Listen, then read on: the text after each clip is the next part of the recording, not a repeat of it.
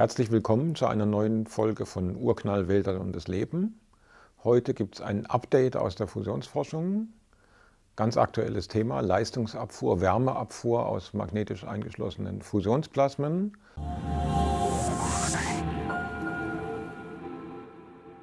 Der Anlass ist, dass wir an unserer Forschungsanlage zusammen mit einem Team von Gästen von der Uni Wien einen sehr schönen Erfolg erzielt hatten und den auch veröffentlicht in der Fachzeitschrift Physical Review Letter.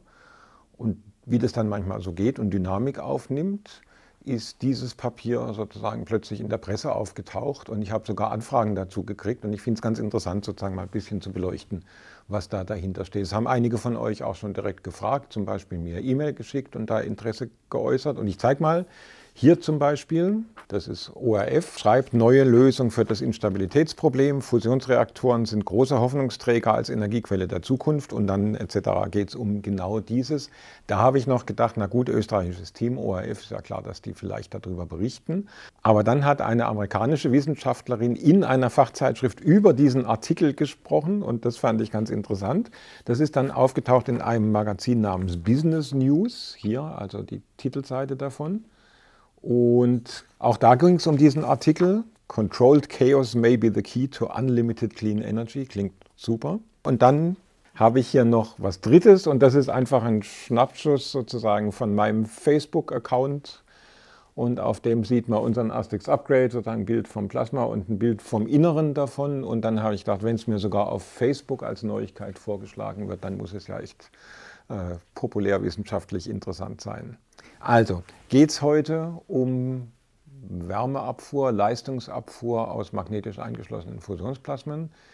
Das gibt mir auch die Chance, was anderes zu erklären, wo öfters mal nachgefragt wird, nämlich was ist denn eigentlich der Divertor? So, und jetzt kommen wir also zu was. Ich knüpfe an an ein Video, was ich, glaube vor einem halben Jahr gemacht habe, wo es um Astex Upgrade ging. Was sind die Themen, an denen wir an Astex Upgrade forschen? Also wir haben ja hier das magnetisch eingeschlossene Fusionsplasma, da gibt es die magnetischen Flächen und dann ist das hier unser Torus, der hier so rumgeht und da sind die magnetischen Feldlinien.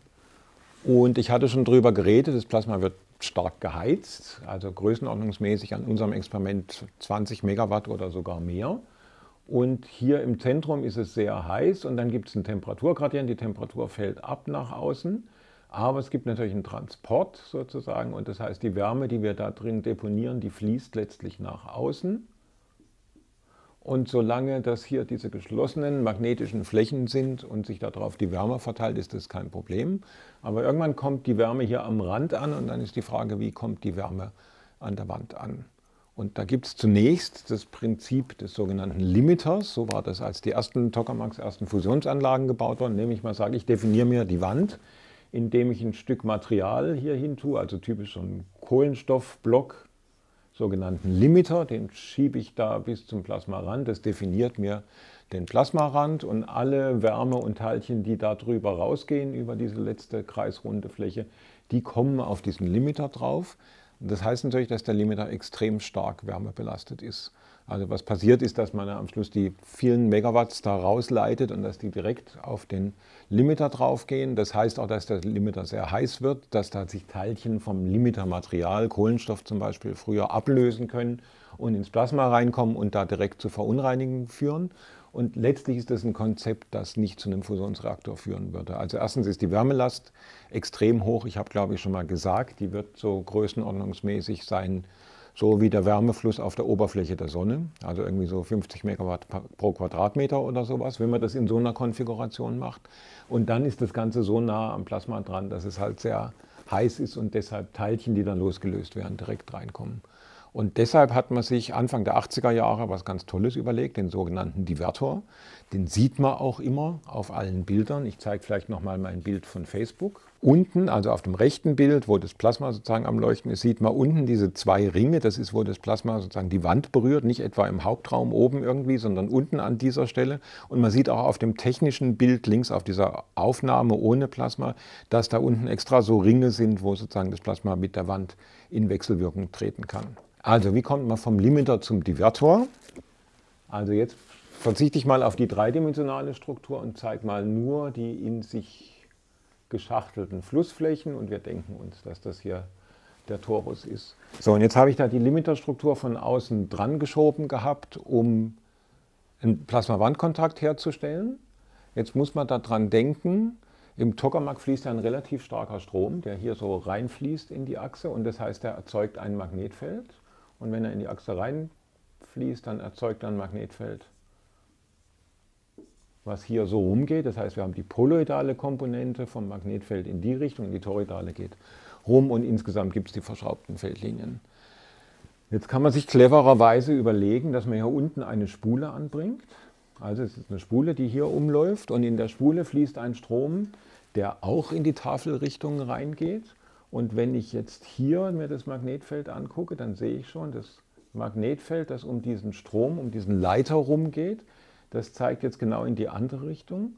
Und das heißt, irgendwo hier zwischendrin gibt es eine Stelle, wo sich die beiden poloidalen Magnetfelder aufheben. Das hier so anzeichnen. Und da gibt es hier einen Punkt, das ist der sogenannte X-Punkt. Und in dem Punkt ist das Magnetfeld 0. Und dann ergibt sich eine magnetische Fläche, die so aussieht. Das ist eine sogenannte Separatrix. Und alle Feldlinien, die innerhalb verlaufen, sind geschlossene Flussflächen und da ist das Plasma heiß drauf und schwebt sozusagen. Und alle Feldlinien, die jetzt außen sind von der Separatrix, die gehen nicht etwa direkt an die Wand, sondern wenn ich das jetzt außen weiterzeichne, dann sieht es so aus. Und wenn ich jetzt daran denke, dass die Feldlinien hier um den Torus rumlaufen, dann heißt das alles, was über diese Separatrix rausgeht, das fließt sozusagen mit vielen Umläufen hier runter und letztlich auf die Divertorplatten. Also wenn ich mir das so vorstelle, dann habe ich jetzt den Wärmefluss, der direkt auf die Wand geprasselt ist umgeleitet nach hier unten in den sogenannten Divertor, divertieren, deshalb heißt es auch Divertor. Und hier unten im Divertor kann ich jetzt gezielt die Plasma-Wandwechselwirkung machen. Da bin ich weit entfernt vom Hauptplasma. Das heißt, wenn hier Verunreinigungen entstehen, dann ist das kein großes Problem mehr, sondern können die einfach hier unten sozusagen abgepumpt werden, neutralisiert und abgepumpt werden. Und noch besser, diese und diese Stelle sind ja über magnetische Feldlinien verbunden. Und wenn die Feldlinien sehr oft den Torus umlaufen, dann kann ich tatsächlich dafür sorgen, dass ich auf dem Weg Leistung rausnehme und schon strahle, sozusagen abstrahle. Und dann geht die Temperatur runter. Und wenn die Temperatur runtergeht, aber längs der Feldlinie der Druck konstant sein muss, dann geht die Dichte hoch. Und das heißt, ich habe hier unten ein N-Divertor, also eine Dichte, Zeilchenzahldichte mal eine Temperatur vom Divertor und ich habe hier oben ein N-Plasma, T-Plasma und das Produkt von den beiden ist gleich, weil das nämlich gerade der Druck ist. Also das ist gleich dem, ist der Druck. Aber die einzelnen Bausteine sozusagen in dem Produkt, die kann ich sehr wohl verändern. Und hier unten ist eine sehr hohe Dichte und eine sehr niedrige Temperatur was gut ist, weil die Teilchen dann sozusagen nicht viel Schaden anrichten können auf dem Material. Und hier oben habe ich eine hohe Temperatur und eine niedrigere Dichte, denn ich will ja hohe Temperatur haben, damit ich hier auf meinen Wert im Zentralplasma komme. Und diese Divertor-Konfiguration, die ist tatsächlich sehr erfolgreich geworden. Also praktisch alle Tokamaks, die nach den 80er Jahren, als das erste Divertor-Experiment erfolgreich gestartet wurde, hier bei uns im Institut, Astex, axial-symmetrisches Divertor-Experiment. Alle Tokamaks, die danach gebaut worden sind, haben so eine Divertor-Konfiguration und der ITER, der hat es auch. So, und damit wäre die Geschichte zu Ende. Es hätte ein Happy End, wenn nicht das Plasma am Rand Instabilitäten hätte. Und damit beschäftigt sich jetzt diese Arbeit, die ich vorhin zitiert habe. Und die Instabilitäten, die sehen so aus. Ich zeichne mal auf, wie der Druck aussieht. Das zeichne ich jetzt mal außen raus. Wenn ich also den Druck aufzeichne als Funktion vom Radius, hier ist der Radius, da ist der Druck. Das heißt, der Druck, der ist ja im Zentrum hoch und am Rand niedrig. Das heißt, es muss irgend so eine Funktion sein, die hier zum Rand abfällt. Und ich habe das schon ein bisschen so gezeichnet, aber wenn man sich es wirklich anguckt, dann sieht es eher so aus. Der Druck ist ganz steil am Rand. Das ist toll für uns, weil wir da steile Gradienten haben, kriegen wir ganz hohe sozusagen. Es hängt mit der Turbulenz am Rand zusammen, die da niedriger ist, kriegen wir ganz hohe Gradienten und dann geht es hier so zum Zentrum rauf. Und in so einer Situation, wenn man die steilen Gradienten am Rand hat, dann hat man natürlich einen super Einschluss, also sehr gute Wärmeisolation.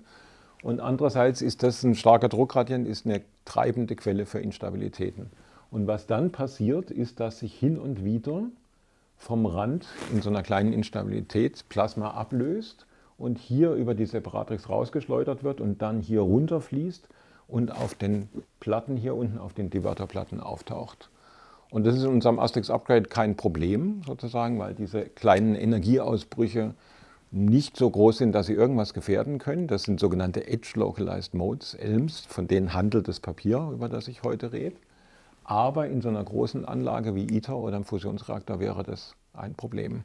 Und ich zeichne das mal so ein bisschen überspitzt hin vielleicht hier.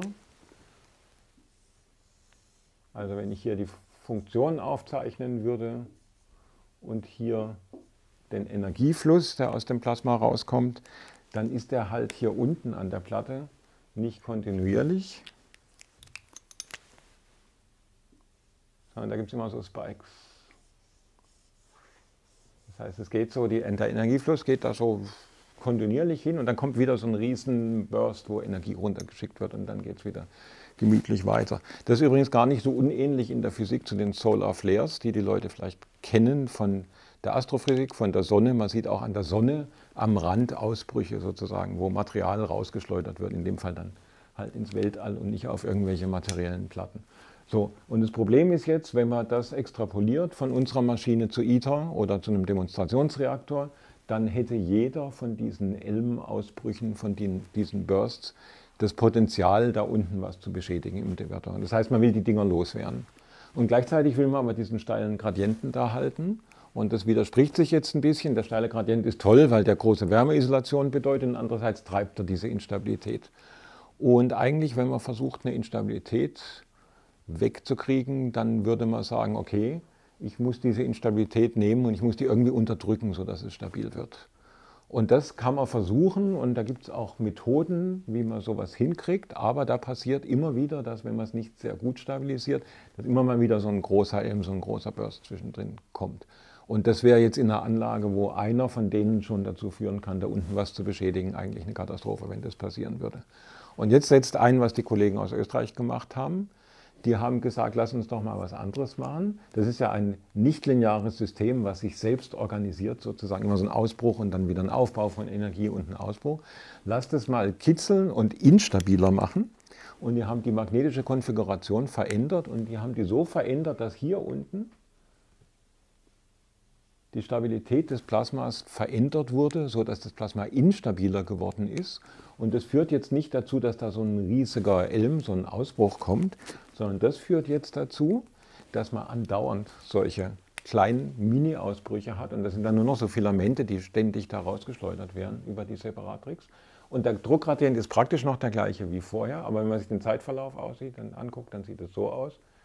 Da sieht man praktisch kontinuierliche Energieabfuhr da drin. Muss natürlich im Level etwas höher sein, weil ja das Integral darüber, also die Fläche darunter, gleich sein muss wie mit diesen Bursts. Und wenn man sich das anguckt, da sieht man jetzt schon, es ist die große Energiebelastung weg und trotzdem hat man noch diese steilen Gradienten. Und das ist jetzt so ein Trick, mit einem nichtlinearen, selbstorganisierten System umzugehen, der eigentlich ein bisschen counterintuitiv, kontrainduktiv ist. Man macht was, eine Instabilität sozusagen dadurch beseitigt sie dadurch, dass man sie noch instabiler macht und dass die dann sozusagen in so eine kontinuierliche Geschichte über. Das heißt dann auch quasi kontinuierliche Leistungsabfuhr und ist eigentlich eine ganz schöne Geschichte. Und die sorgt jetzt dafür, dass es nicht passieren kann, dass hier so einzelne Energiebursts kommen, die letztlich hier was beschädigen würden. Gut, das ist der Hintergrund von diesem Papier. Ich hoffe, das sozusagen hat euch auch ein bisschen geholfen zu verstehen, wie der Divertor funktioniert und wie hier die Leistungsabfuhr raus funktioniert. Schreibt ruhig Kommentare drunter, auch wenn ihr noch weitere Fragen dazu habt. Ich gucke immer mal wieder durch und versuche auch zu beantworten, was gerade aktuelle Fragen sind.